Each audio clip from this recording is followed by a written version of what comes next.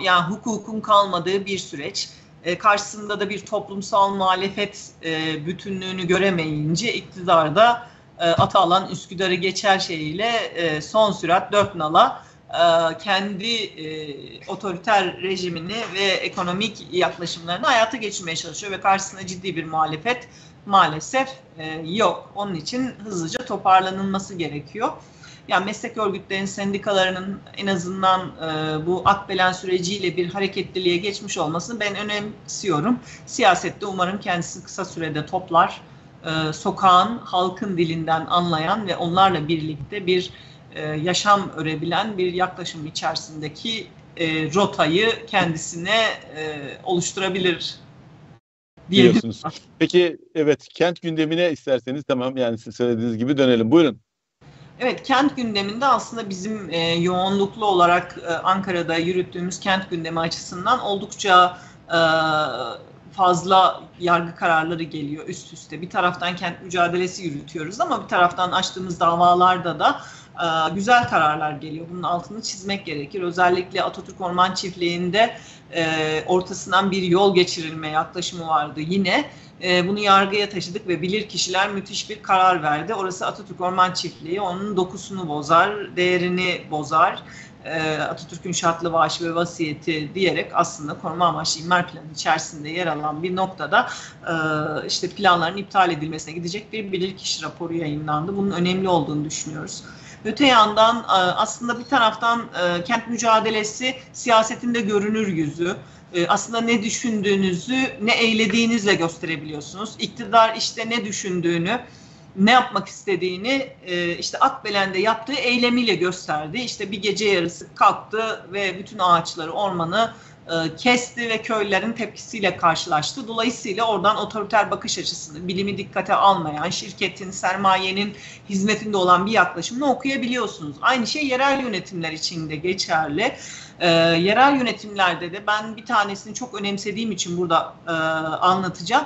Ee, Ankara'da e, Ankara'da Melik Gökçek döneminde başlayan bir süreç vardı. Anıtkabir'e 300 metre mesafede e, işte Beşevler bölgesinde otelcilik ve turizm meslek lisesi var. Aslında Beşevler bölgesi biraz daha böyle üniversitelerin yoğun olduğu bir bölgeydi. Otelcilik ve turizm meslek lisesi yıkıldı e, aslında çok saçma bir gerekçeyle müdürün e, ki işte e, okulun müdürünün depreme karşı dayanıksız e, olduğuna dair yazdığı yazıyla e, oranın yıkımına karar verildi ve Diyanet'e tahsis edildi o alan.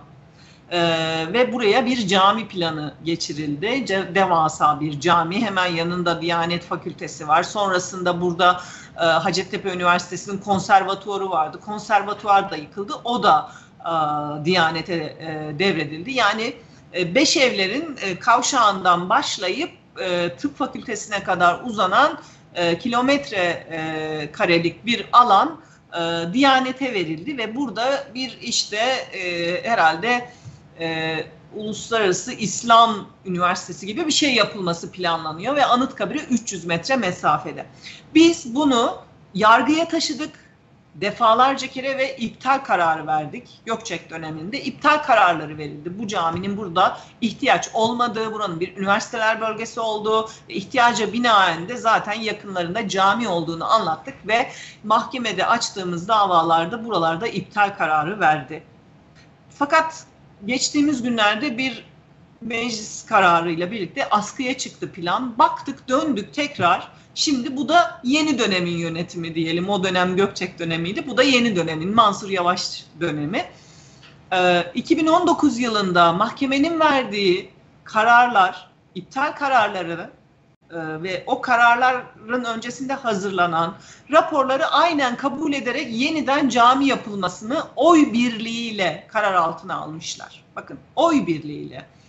Yani evet. şimdi Gökçek döneminde Anıtkabir'in 300 metre uzaklığında bir İslam külliyesi adı altında bir cami planıyla geliyor ve biz bunu yargıya taşıyoruz. Planlama açısından mümkün olmadığı, zaten ihtiyaca binaen olmadığını yargı iki kere iptal kararı veriyor.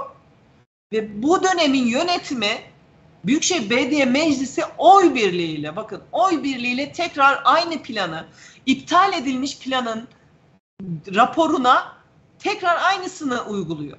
Şimdi tekrar bir yargı süreci başlayacak. Şimdi burada gerçekten şunu anlamak e, zor. Yani e, hani iktidarla muhalefetin eylem yapma, özellikle ranta bakma, kente bakma süreçleri bazen çakışıyor mesela. Biz bunu gördük şimdi Büyükşehir Belediyesi'nde. Gökçek döneminde oldu bu. Sonra geldi şimdi Mansur Yavaş döneminde Büyükşehir Belediye Meclisi oy birliğiyle karar alıyor. Oy birliğiyle iptal edilmiş mahkeme kararının aynısını aynı rapor üzerinden oy birliğiyle bu, bu kabul edilebilir bir durum değil. Anıtkabir'e yani. 300 metre mesafede koca bir külliye yapılmasının önünü açan bir e, meclis kararı alıyor. Şimdi biz buna dava açmışız, iptal ettirmişiz. Yani neden siz yargı kararlarına uymuyorsunuz da tekrar açtığımız ve yargı kararıyla iptal ettirdiğimiz rapor üzerinden tekrar oy birliğiyle karar alıyorsunuz? Yani şimdi oy birliği ne demek biliyor musunuz? Muhalefeti, iktidarı bir arada hareket ediyor demek. Şimdi bu zaman yani neyi e, muhalefet ne, iktidar ne, kentsel ölçekteki planlama sürecinde anlamakta zorlanıyorsunuz. Ya yani muhalefet ne? Şu anda muhalefet meslek örgütlerinden başka kente ilişkin yapılan işlerde muhalefet eden bir yapı göremiyoruz biz şu anda maalesef. Oy birliğiyle alınıyorsa bu karar muhalefette yok, iktidarda yok. Hepsi bir arada demektir bu. Hani bir tanesi de çıkıp hayır ya bunun meclis kararı var. Bu meclis kararından sonra yargıya taşındı, iptal edildi. Yani bunun üstüne gitmeyelim. Kimse yani, söylemiyor diyorsunuz kimse yani. Kimse söylemiyor bakın. Muhalefet de iktidar da oy birliğiyle alıyor. O zaman ne muhalefet ne iktidar var. Birlikte yönetiyorlar algısı yaratılıyor. Böyle bir yaklaşım olabilir mi?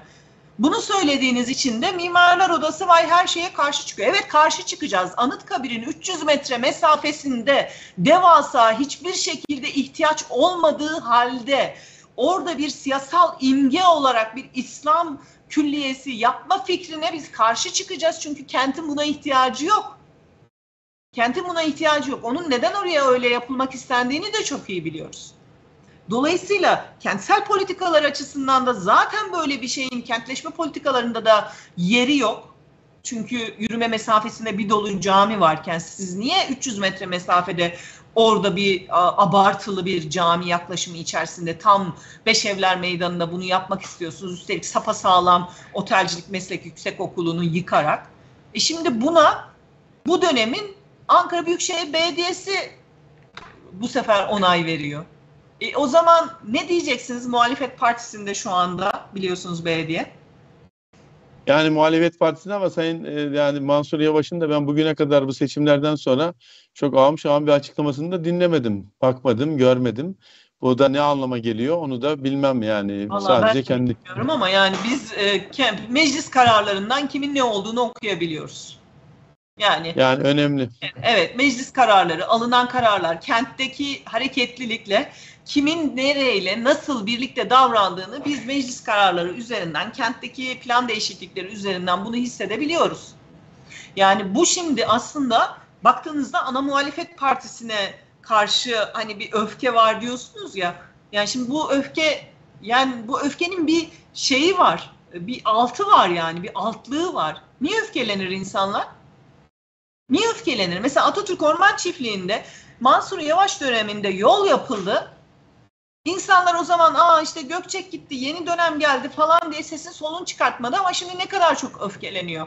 Burada meslek örgütlerinin görevi, aydınların görevi keza doğru politika neyse A partisi, B partisi, C partisi, D partisi hiç fark etmeden biz kendi meslek alanımızdan doğru aldığımız eğitimle birlikte mücadelemizi yürütüyoruz. Şimdi bu e, Anıtkabir'e 300 metre mesafedeki cami için tekrar mücadele başlatıyoruz. Tekrar yargı süreci başlıyor. İki kere iptal ettirmişiz, üçüncüsü bu sefer. E şimdi bu olacak iş mi?